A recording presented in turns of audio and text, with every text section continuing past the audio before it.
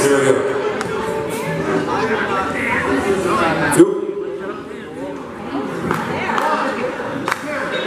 we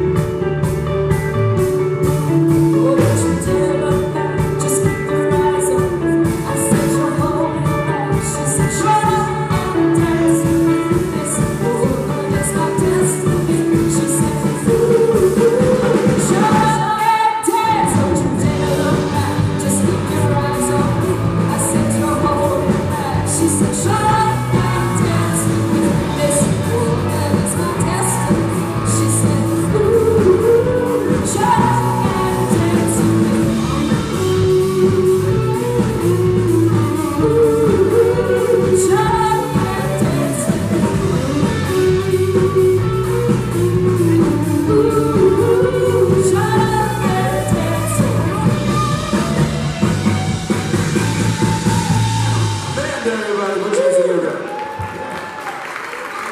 If anybody else.